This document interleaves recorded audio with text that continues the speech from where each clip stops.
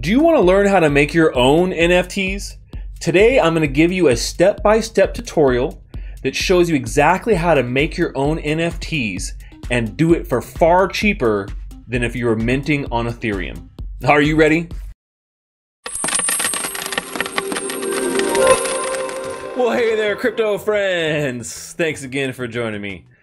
So today's all about making your own NFTs. I've been getting so many requests on how to mint your own NFTs. I decided to just do a quick tutorial, but a step-by-step tutorial that's great for beginners that are just getting their feet wet in creating NFTs. So all of you guys knew exactly how to do this process. So today, we're gonna be doing this on the Wax blockchain. This is by far one of my favorite blockchains to mint my own NFTs on. It's incredibly fast, it's incredibly cheap, and you're not paying transaction fees like you are on Ethereum. So before we get started though, if you're not already a part of my community of stashers, you don't need a mustache to join, but you do need to love learning about NFTs and crypto with the community, and you can sign up in my Telegram link below right there. All right, so let's go take a look at this and we'll get started on this. I'm gonna give you everything step by step. So if you knew nothing about uh, creating your own NFTs, I'm gonna show you start to finish so you'll be able to confidently do so on Wax by the time you're done watching this video. Okay, so the first step, obviously, is if you're not already familiar with Wax, you have to have a Wax wallet. Just like any other blockchain, you have to have your own blockchain wallet to be able to manage your funds and manage your NFTs, right? So the one that I recommend is using the Wax Cloud wallet. Now, this is a custodial wallet, which means your keys, your private keys, are held by Wax themselves, the company. They're a third party. Now, typically, I always advise everyone to hold their own private keys. But in this case, you know, for this type of wallet, it makes it incredibly simple for everybody to sign up. All you need is a social login. So you can use Facebook, Google, uh, there's a bunch of different ones, Twitch, Twitter, uh, Steam if you want as well. So there's many options, uh, and, or you could just use a plain old email. So really quickly, you can sign up for a wallet and get started right away with this stuff. And if you're really looking to hold your own private keys, you can always message me later and I can give you a little bit of hints on how to get that up and running. So obviously first thing, sign up for a Wax Cloud wallet. And then once you got your wallet all signed up and you're logged in, you'll see it looks something like this. So this is my wallet here and you guys can see I'm all logged in. Now there's a couple things I want to point out here that uh, are important for this tutorial in particular. Now uh, on Wax, you do need to have a small, a small amount of resources to do just about anything. And so that's one of the first hurdles that we're going to have to get over. And obviously, you're going to have to purchase Wax somewhere. Now, if you're just trying to get started to mint a few NFTs, uh, jump into my Telegram link below. Uh, I have the group right there. Jump in my group and let me know. And I can actually send you a couple of Wax to get started. But you will need to buy some resources. And so when you look at some of the resources, the most important one that you really want to be looking at is the RAM. The other two are not as big of a concern, but RAM is what you need to do actions on this blockchain. So if you want to mint an NFT or sell NFTs or buy, you know, transact, you need a little bit of RAM in your account. You don't need a lot. You you just two or three wax, maybe five wax. Not not too much, but you can see I have about 11% capacity here. I actually have a, a decent amount in RAM. So that's the first hurdle we need to get over here, but it's not that big of a hurdle. You can actually get wax at quite a few popular exchanges. Uh, the ones that I recommend are if you're here in the United States, you want to use Bittrex. That's one of the popular exchanges here in the United States.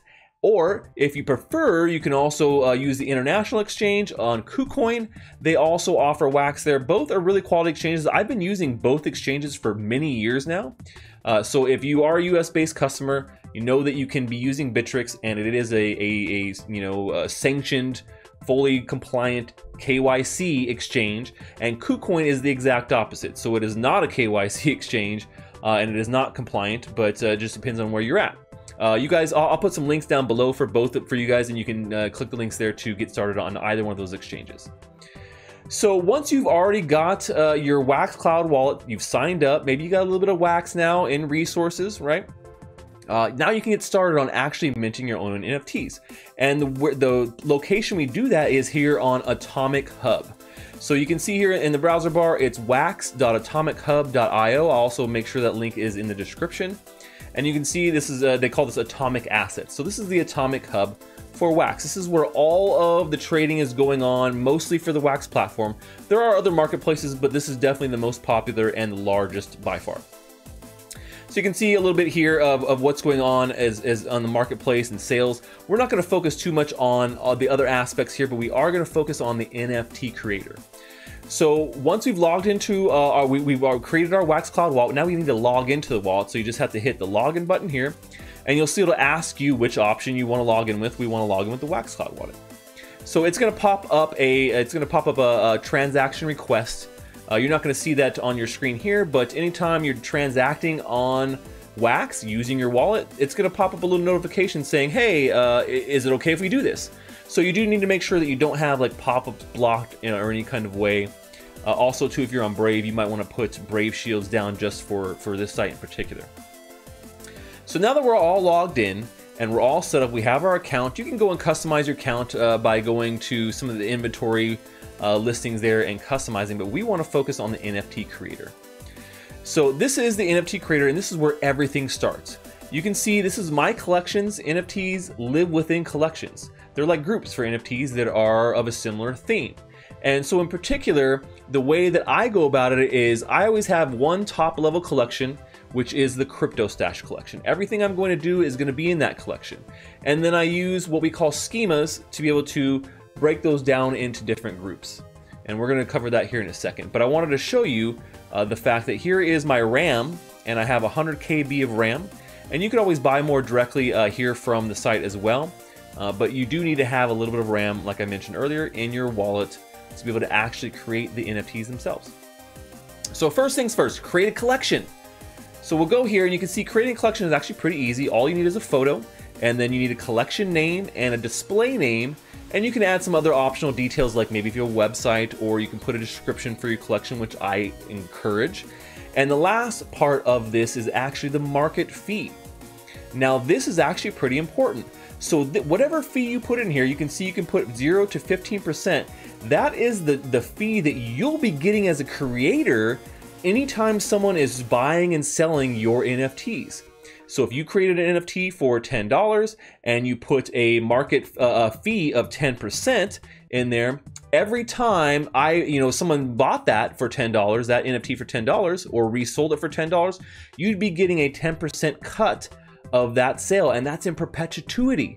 Uh, perpetuity, perpetuity, perpetuity. that, that's for as long as that NFT is traded uh, on this uh, on any of the Wax platforms. So you're to get that percentage as residuals as an artist. This is one of the biggest factors here, right? So you set this at the at the, the collection level. And so a couple other things to, to note here is that your collection name actually has to be exactly 12 characters. Now this is a little bit of a weird thing with the Wax blockchain in particular, but it has to be exactly 12. So you got to get a little creative there. You can use the numbers 1 through 5 uh, and only lowercase uh, letters as well, A through Z. So you do have to get a little creative there, uh, but you can make the display name pretty much whatever you want. So you can have the collection name be something and the display name be, uh, you know, exactly what it should be. So that collection name is actually really important because that is what's showing up in search results. So you must keep that in consideration. Okay, so if we've got our photo loaded up, we've got our name loaded up for our collection, our display name is set, we put in details for our website and our description, and we've set our market fee. You just go ahead and create that collection, and you'll end up with it looking just like this. So now you have your collection with the name, and we'll go ahead and just go ahead and view that collection. So here is my collection, the Crypto Stash collection. You can see I actually had to use crypto and then five for an S because someone actually took my name, my collection name, before I got to it. Someone's camping on my Crypto Stash name. Uh, if you're out there and you're watching, please, please sell it back to me. so here we are uh, in our collection, and you can see I put my website address. I have my display name, Crypto Stash, uh, the best mustache in crypto. You know it. And my market fee, I've set at 10%. So I will get 10% of all future sales of my NFTs, regardless if I'm selling them or someone else's. Now that we have our collection set, we are going to now break this down into specific groups, which we call schemas. And schemas are a way to group similar NFTs into, into their own little, uh, you know, schema. so you can see here uh, your schema, uh, you have a name and you have attributes. Now, unlike the collection, you don't have to uh, do exactly 12 characters for the schema name. It can be anything as long as they're lowercase and 1 through 5. So uh, we'll do, you know, test schema. And then on the right hand side, you have your attributes. Now these attributes can be anything that you want them to be. They're going to be, they're default ones every time you create any kind of NFT. You need a name, right? So the name and the image are the two things that you cannot create an NFT without, right? But you can add extra attributes to, to as much as you want. Perhaps you've collaborated uh, with another artist on this piece. You could add a new attribute and uh, make it uh, collaboration. Uh, and then you can put in a attribute type of text, right? So that way, when I create the NFT, I have a little area in, in, in this schema to be able to put the collabor the art the name of the collaboration artist, right? You can do this for lots of different things. You could create different rarity levels. You could put all kinds of additional information into your NFT by creating as many new attributes as you'd like. And they give you options of like text, or you can do uh, numbers, you can do extra images, which is great. So sometimes maybe you want to do the back of a card, which is also very popular. You could do that as well. Uh, and there's some other extra ones like IPFS hash and Boolean. We're not going to go over these in particular. We want to keep it very straightforward for you guys today, but just know that you can add extra elements here. And most popular one is going to be text and image. So once we have that all done, we have our name here, we have our attributes set. These attributes are going to be for everything you create in this schema. So you want to make sure any NFT you create within the schema will have these attributes. So I'm going to show you exactly the one, the ones that I've created. I have one for called Sticky Stash. This is for all of my stickers. I did a big sticker collection. And I have one called Basic Stash. And this is just for very basic uh, assets that I'm creating. And so today, while we mint this, we're gonna go use the Basic Stash. So you can see uh, right here, I went with the default one, name, uh, text, image, image, and then I actually did add an additional one called description. So I can I can add a little description about that NFT uh, into you know embedded within the, the metadata of the NFT itself. So the schema is like a way to group similar NFTs into into you know a group that, that makes sense, right? Something that are apples to apples. Now you say, okay, now that's great. Now can we just get to minting? Right now, this is where you'd be tempted to just go and hit this mint new asset button. And you can totally use it that way and you can just go mint the asset directly. But what I actually recommend is scrolling down to the bottom and creating a template for that asset. Because depending on how many copies you want to make and when you're going to mint them and how many you mint at a time, it's far easier to create a template to then mint over and over again than having to put the information in every single time. So here we are with the create new template. We're going to show you an example here of how you can create a new template to make it super simple to continue to mint these NFTs over and over again and not have to put the same information in, right? So the first thing we want to do is we want to upload our image. Now uh, I'm to pick this from my from my computer here, and you can see we're going with the stash signal. This is this is the this is the the signal you put in the sky anytime you need help in crypto, and stash comes flying into the rescue. So the other thing to take in consideration is the max supply. This is how many NFTs could ever be created using this template, using this image, using this data. So uh, in particular, I want to make this one very high supply, max supply, because I want to give these away for free for a very long time. But if you wanted to make something really rare, maybe you say the max supply that could ever be created of this is 10. And that way you could never ever mint one besides, I mean, you could do another template in with the same, you know, image, but it wouldn't have the same metadata connected to it. And you would know that it was a separate mint and not this same one. So there's also options to uh, turn on and off transferring and burning. Uh, you probably always want to leave these on. Assets can be transferred as important, otherwise you wouldn't be able to sell things or send them to people once they're in their wallet, they're locked there and they can never leave. And then burning just means that someone can destroy that NFT themselves if they like. Uh, that may seem like a bad thing, but in general, it reduces the supply, so that means that uh, they theoretically would go up in value because there's less of them out there. So I usually leave both of these on. Now we want to put in the name of the NFT. This is what it's actually going to be called, and then we're going to call this the stash signal. The stash signal. And then we're gonna go with text like, uh, let me see here. Um, you, are you in need? Nope, whenever, whenever you are in need of crypto help,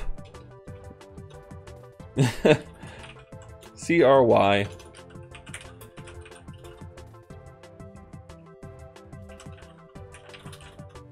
Just use this stash signal.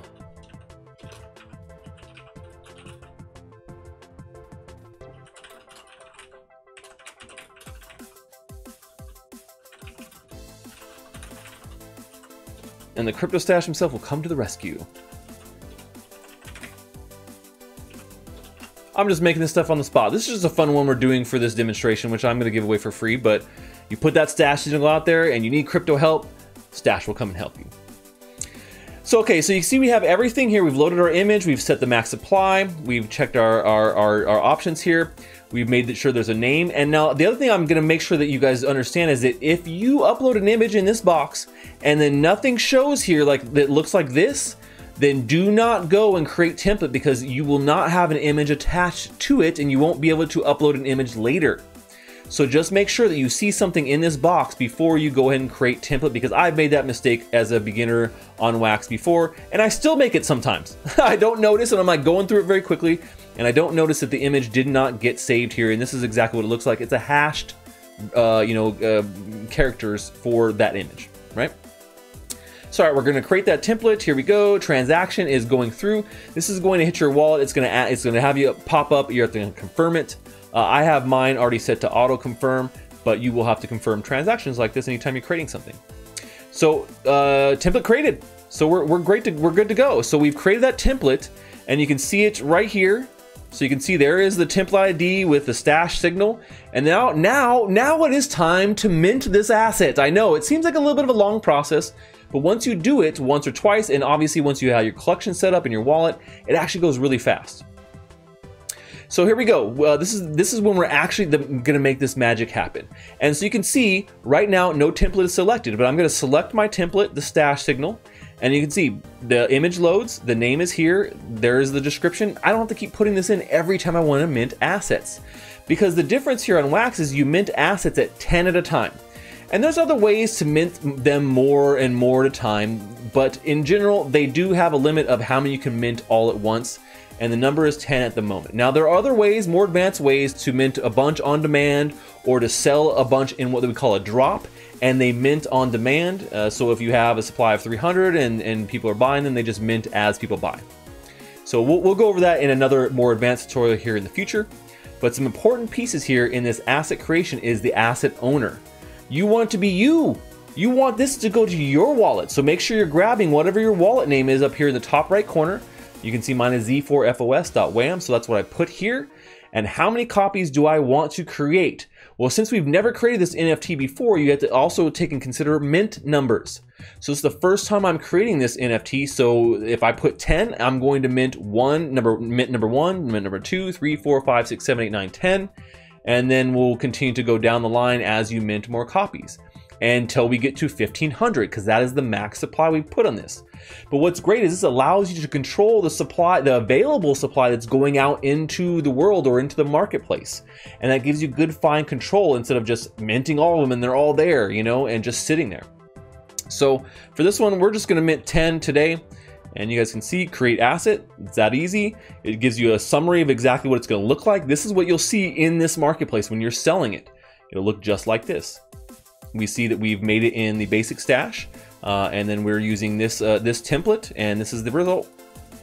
So we're gonna confirm the transaction. This is where, once again, you're going to confirm it in your wallet with a pop-up. You'll get this transaction successful, and we have created our very first NFT here on Wax. Congratulations! I know there's quite a few steps, but like I said, once you have it all set up, it actually works pretty easy. So now you can see we've minted our asset and here we are. Here's all the assets we just minted and you can see you can hover over them and you can see a little bit. Uh, it does take a second for the mint number to calculate. So if you see it saying calculating, calculating, don't, don't start to panic. Uh, it will show up in just a minute or so. It's pushing all this information to the blockchain, which actually usually happens you know, very fast. Uh, so the calculation of mint numbers will take a second. So you can see we've made these, I can click on it. Uh, you can see now here I've officially created it. It has all the information we put in here. Uh, the name, the collection, what schema it is, the template ID, if it's transferable and burnable, and the owner who owns it, right? I own it right now. And now you can go list it on the marketplace, right? So really cool uh, in, in, you know uh, way to do this. And on Wax, all this is free. It costs nothing to mint. It costs nothing to send or receive on Wax. So anytime you're transacting, if, if you're buying somebody's piece on Wax, there is no fee except for the market fee. Now the market fee obviously is a fee you're gonna have to pay, uh, and that is set by the creator, like we did earlier in the video. I set it at 10%. So you you you can at least be comfortable in the fact that you're supporting the artist and not just, uh, you know, Ethereum mining fees, which are ridiculous. So hopefully you guys really love this tutorial uh, on how to mint your own NFTs uh, if you're a beginner, or maybe you're just getting, you're not a beginner and you're just getting started with Wax blockchain. This is a step-by-step -step tutorial. And I, you know, if you have any questions, I'm always available. You can jump in my Telegram group. We talk about NFTs, creating NFTs, and all those fun things all day long. And I advise you, to, if you have any questions, just jump in there and let me know, and we can, uh, you know, or put up the, the put up the stash signal, and I'll come a running. well, that's all we have for today, folks. Until next time, stash that crypto, friends.